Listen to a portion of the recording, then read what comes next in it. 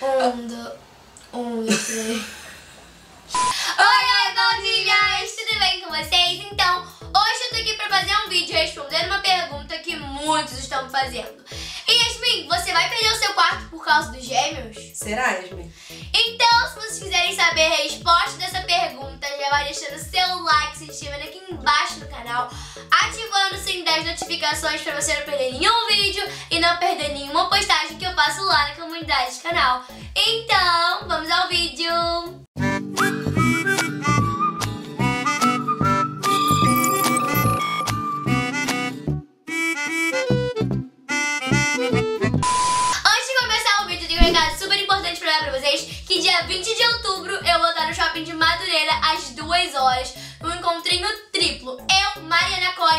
Almeida vamos estar numa sessão de... Quer dizer, um encontrinho com sessão de autógrafos, de oficina de slimes, é, sorteios, muitas coisas super divertidas que vocês não podem perder. Então eu conto com a presença de todos vocês lá. Gente, então, vamos responder a grande pergunta pra vocês. Primeiro, assim, uma pergunta que eu vi que alguns fizeram é: Yasmin, na sua casa tem outro quarto? Não, gente, na nossa casa não tem outro quarto. A gente mora em apartamento, então a nossa casa tem dois quartos. E isso atrapalha bastante. Porém, o meu quarto, assim como o quarto dos meus pais, que tipo, o meu quarto é grande, mas o quarto dos meus pais já é bem maior que o meu, é, os gêmeos vão dividir o quarto com os meus pais até um certo tempo, porque a gente pretende se mudar. E aqui, assim, no caso, não tem como a gente fazer mais um quarto, que é, É. apartamento. Se fosse casa, tivesse quintal, até daria pra gente dar uma aumentada e fazer um quarto exclusivo pros bebês. Mas é algo que não tem como a gente fazer nesse momento. E a resposta é não, eu não vou perder meu quarto, gente. Até porque, pra quem não sabe, eu demorei muito pra ter meu quarto. Então, meus pais acharam injusto se eu perder o meu quarto logo agora. Não logo agora, vai fazer tipo um ano que eu tô com esse quarto, tipo, do jeito que tá hoje. Entendeu? Então, tipo, é uma coisa meio injusta se eu for perder meu quarto agora, tipo, porque eu passei muito tempo dividindo no meu quarto. A gente morava lá embaixo, no mesmo prédio que a gente mora hoje. A gente morava no andar de baixo. E eu tinha o meu quarto. É, tinha dois, até três anos, mais ou menos. Até um ano só. Só no primeiro ano que você teve o seu quarto. É? É porque também depois seu tio morava com a gente, aí a gente teve o salão dentro de casa. Sim. Aí, como... Era um apartamento de dois quartos também. E a Yasmin era muito pequenininha. É, quando ela nasceu, nós fizemos um quarto pra ela, que era o nosso escritório. A gente tinha o quarto como se fosse o escritório.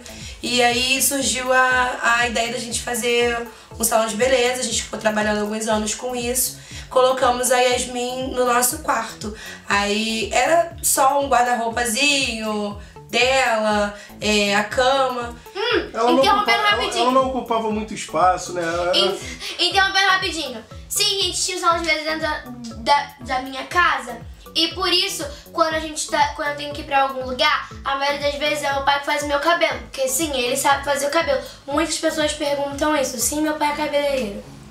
Isso, nós dois. É, os dois. É, aí, na, na época, a Yasmin bebezinha, ela nunca dormiu no berço. Nunca. A gente colocava lá no berço, ela tirava breves cochilos, assim, é, durante o dia. E na hora de dormir mesmo, de noite, ela acordava chorando. Aí a gente tinha que levá-la pro nosso quarto e ela acabava dormindo com a gente. Pra gente acabar com isso, de ficar, um quarto era um pouco distante do outro, ela muito pequenininha. Que era um corredor enorme. Aí compramos uma mini cama quando ela tinha um pouco mais de um aninho e colocamos lá da nossa cama. Então a gente fez o quarto conjunto, é, onde a Yasmin dormiu todos esses anos, até o ano passado com a gente, porque o quarto não era um quarto pequeno. E o segundo quarto da casa era o salão. Então, é, no apartamento que a gente morava no andar de baixo, também eram dois quartos que nem esse aqui. É, um quarto era o nosso, o nosso quarto conjunto, onde ficávamos nós três. E o outro quarto era onde a gente tinha nosso ateliê. A gente trabalhando, trabalhava com cabelo, com maquiagem, com a parte de estética. E ficamos assim até o ano passado. A gente se mudou para esse apartamento aqui de cima há mais ou menos uns seis anos. É, ele tipo, é, ele não é pequeno, mas comparado ao outro, a sala era um pouco maior e a gente tinha um corredor tipo muito extenso. entendeu? É, outro quarto É, um pouco maior do que esse. mas meu prédio, ele é, ele é meio antigo, então ele tem uma construção antiga, então os quartos são maiores que os apartamentos de hoje em dia, graças a Deus. E porque também não é só por conta de não ser justo pra mim dividir o quarto agora, mas é porque o meu quarto sempre foi planejado como um estúdio. É porque quando a gente, eh, a gente se mudou pra cá, sempre com esse pensamento de de- da- devolver o quarto da Yasmin. E aí, quando foi ano passado, eh, a gente. Não, minha mãe, ela tinha um grande problema, porque ela era pegada ao ateliê. Então ela ficava procrastinando, tipo assim. Ela ficava deixando, tipo, pra depois as coisas. E ela nunca acabava com o salão. Ela sempre falava, vou acabar, mas nunca acabava, entendeu? É um apego, é uma coisa nossa, assim. Mas a gente foi vendo, a Yasmin cresceu bastante, ela já tá, tá entrando na adolescência. E aí é uma coisa mais complicada, ela quer o cantinho dela, o espaço dela, um lugar direito de estudo. E aí ano passado a gente resolveu é, fazer essa transformação. A gente fez esse planejamento do quarto dela voltado pro, pra ter tudo que ela precisasse. O cantinho dela de beleza, o cantinho dela de estudos, tudo do jeito que ela sempre sonhou em ter. E voltado para os estúdios de gravação também, para ela fazer as gravações pro canal do YouTube. E não é justo uma coisa que a gente fez com tanto planejamento, que ela demorou tanto tempo para conquistar, agora ela perder porque os irmãozinhos não vão nascer. E eles vão ser muito pequenininhos, vão precisar ficar mais perto da gente do que dela durante a noite. Até como ela foi quando era bebezinho. E a gente Como colocou bebê, né, gente? ela perto da gente. Então, o nosso quarto não é pequeno, tem um espaço consideravelmente bom. Vazio. E dá pra gente fazer o cantinho pros bebês lá por enquanto. Até quem sabe no futuro bem próximo a gente conseguir se mudar pra um lugar um pouco maior. Esse quarto era meu. O quarto que é de hoje em dia, que eu, que eu é o meu quarto, era do meu pai. Mas depois ele, tipo, ele, tipo, ele morou aqui a infância dele inteira, nesse apartamento. Aí depois ele continuou morando aqui, porém ele Quando a gente se casou, a gente se é, mudou Ah, não, pera, a gente pro andar de baixo. mudou, mudou pra um, pra um outro lugar. Aí quando eles voltaram pra cá e pro andar de baixo. Aí até eu completar uns tr- três anos. Você tinha cinco quando a gente se mudou pra cá. Cinco? Ah, é, né? Tem quase sete anos que a gente Cinco, mora aqui. é. Eu tinha uns 5 anos mais ou menos e a gente se mudou pra cá pra cima. Então, é, ele morou quase a vida dele inteira aqui. Nesse prédio. E assim que a gente tiver com o cantinho onde vão ficar os bebês prontos, a gente volta, traz pra vocês, faz um tour pelo nosso quarto. E vocês vão ver como é que o nosso quarto não é assim, não é enorme, mas também não é assim tão pequeno. Uhum. Tem espaço suficiente pra ficar nós três, pelo menos por enquanto. Né? Nós, nós quatro. Nós quatro. É, né? nós- É, tá, tua mãe tá me jogando, tá me, tua mãe tá me rifando, né? Tipo, eu não entro mais no quarto, né? Nós quatro. Nós três éramos antes. Agora seremos cinco e a Yasmin vai ser a única que vai ter exclusividade no quarto dela. E a Mel. É, e os gêmeos, né? Os gêmeos vão ter exclusividade no quarto também. Sim. Não, mas é só a Yasmin que vai ter o quartinho dela. Os bebês, infelizmente, no momento não vão ter. Mas a gente já tem algumas coisas já pensando, embora se tudo der certo, né? Esse mês ainda a gente vai descobrir os sexos dos bebês de verdade. Esse mês não, vou ser bem sincera pra vocês. A gente vai falar pra vocês esse mês. Mas a gente vai saber daqui a uma semana. Vai saber? Não, vai tentar. É, vai tentar saber, porque se eles se esconderem, né? E já tem algumas coisinhas, a gente já, já viu papel de parede. Tipo, a, gente, já viu o estilo de cama. Ó, vou colocar isso aqui pra baixo, porque é que eu queria mostrar pra vocês. Mas antes de eu mostrar, eu quero falar pra vocês uma coisa. A gente tava planejando de ser cama montessoriana, né? E da gente, tipo, como a gente pretende se mudar, a gente não vai fazer uma coisa tipo um quarto, dois bebês, né? Como a gente já disse, Isso. a gente vai dividir o quarto com os meus A gente vai dividir o quarto com os meus pais. Então tem meio que um recuo no quarto tipo, é vazio e é um espaço muito bom. O espaço então, ficava cama com as coisinhas da Yasmin. é, é Então- um espaço bem bom. Então vai ter a cama montessoriana deles. Pra quem não sabe é cama montessoriana, vai estar aparecendo uma foto aqui na tela. Porque a Yasmin mesmo, a gente tá tirando esse exemplo pela Yasmin. A Yasmin nunca dormiu uma noite no berço. É, no começo a gente fazia uma caminha mesmo no chão para que a gente conseguisse dormir com ela. Até a gente levar ela pra nossa cama. E quando a gente viu que não ia ter jeito, que ela se acostumou na nossa cama, a gente comprou uma mini cama pra colocar do lado da nossa cama. Então, com os bebês agora, a gente não pensou de imediato de, de ter berço mesmo, porque não foi uma experiência legal com a Yasmin, não foi utilizada. Sim, então a cama montessoriana, como vocês viram a foto, é uma cama tipo direto no chão. É uma cama que meu pai, meu pai e minha mãe estavam discutindo por muito tempo sobre isso, uma cama tipo muito legal. É, é uma, uma pegada do quarto que eles queriam ter diferente. É, e cama montessoriana não é só cama montessoriana, né? É um É cama um montessoriana é um estilo, é um estilo de, Que é, de é, viver. os bebês já vão conquistando a independência, já vão aprendendo a fazer as coisas deles desde pequeno. A gente não vai estar limitando o espaço onde eles vão ficar. Eles vão estar tendo a liberdade de estar é, co- é, construindo novos espaços, é, conhecendo novos espaços. Esse aqui é o papel de parede que a gente quer, pretende Não é colocar. masculino, é unissex. É unissex. É, e a gente pretende colocar. E como a gente muda de ideia muito fácil, talvez seja Pode ser que a gente de ideia. mude, mas a princípio Olha. foi esse papel de parede que a gente escolheu. Tá vendo? Muito lindinho, gente. Olha aqui.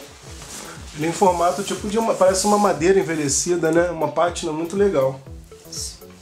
Aí tem umas cores assim, um branco, um gelo, um azul e um verde. Bem, Bota um bem rústico, bem bonitinho. Isso, assim. É bem legal esse papel de parede. E depois a gente pode fazer como tá aqui no quarto da Yasmin, botar uns, quartos, uns quadros coloridos pra poder dar um, um novo contraste, enfeitar e deixar mais carinha de criança ainda. Sem perder, logicamente, o nosso quarto também, vai ser um quarto coletivo, mas vai ter o cantinho deles. Vão ser dois ambientes, né, gente? Mas vamos mostrar tudo pra vocês. É, agora a gente falando assim fica mais difícil de- vocês imaginarem como é que vai ficar no futuro.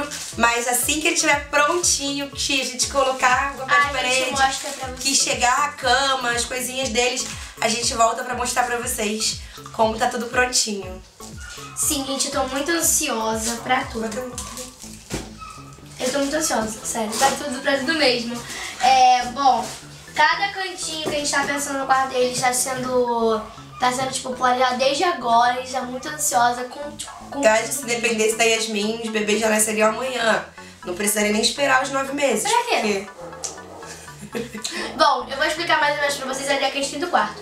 A gente vai colocar, a gente pretende colocar esse papel de parede, se a gente não mudar de ideia. Vai ter uma cama montessoriana e uma cômoda. O armário dos meus pais, tipo, é muito grande, muito grande mesmo. Uma coisa que eu também dividia com eles. E agora que eu... Agora A não, né? que era da Yasmin. A partir do momento que eu saí de lá, ficou uma parte vazia. Que a gente tá tentando ocupar aos poucos, mas ainda tá bem vazia. Tá bem vazia. Então a gente vai voltar pro esquema que era antes. Eu vou continuar com a parte que eu tinha no guarda-roupa, o Brandon com a parte que ele tinha e a parte que era da Yasmin. A gente vai deixar pros bebês, que embora seja uma parte pra dividir pra dois, eles ainda vão ser pequenininhos, não, vai, não vão ocupar tanto espaço Porque o também. guarda-roupa do quarto dos meus pais é em L. E Então, o tipo, o impressionante é que você tinha uma parte no nosso guarda-roupa que não era tão grande e hoje em dia você, tem um armário enorme hoje em que dia você tem um hoje em dia você tem um armário enorme que você não consegue guardar tudo. Como é que pode isso, né? É porque eu guardava roupa de cama em uma outra, em um outro negócio do armário. Eu guardava, eu guardava meus sapatos em outro lugar do armário. Eu guardava os, os jogos em outro. É, resumindo, o nosso guarda-roupa, metade dele era pra Yasmin. A gente tem E a outra metade que a gente dividia. Eu, eu e o Brandon a gente dividia. Eu tenho muita roupa, muito sapato. Vocês não estão entendendo. Enfim, é, outra coisa. A gente quer colocar uma, uma cômoda, tipo, básica pra colocar com... Não é com trocador, não sei o que minha mãe É, pretende. pra colocar o trocador É, em o cima, trocador. né? O, ah, o cantinho de higiene dos bebês. Uhum. E ter as gavetinhas pra colocar é, Tipo, roupa coisa de fácil acesso, entendeu? Isso. Coisa de fácil acesso. Yasmin, e, E a gente assim, também queria colocar aquele negócio camping. Quer falar aquele negócio? Berço camping, mas isso. Isso. aí é pra eles ficarem no dia a dia. interrompendo um pouquinho o vídeo, qual é o recado que você tem que dar pro pessoal? Outubro vai ter um encontrinho triplo que vocês vão se encontrar comigo, com a Mariana Collin e com a Mariana Almeida no shopping de Madureira às 2 horas da tarde. Eu espero todos vocês lá. Vai ter oficina de slime, vai ter sorteio, vai ter, tipo, muitas coisas, várias coisas legais no evento, vocês não podem perder, tá incrível, sério, vocês não podem perder. Então fala com sua mãe, com seu pai, com seu tio, com seu responsável, que dia 20 de outubro você tem um encontro marcado comigo, com a Mariana e com a Mariane, às 2 horas no Shopping de Madureira. Ok? É isso, gente. Então vamos continuar o vídeo. Bom, é, então a gente vai colocar essa, a gente pretende colocar essa cômoda pra colocar as coisas mais práticas que a gente precisa ter em mão é, no dia a dia.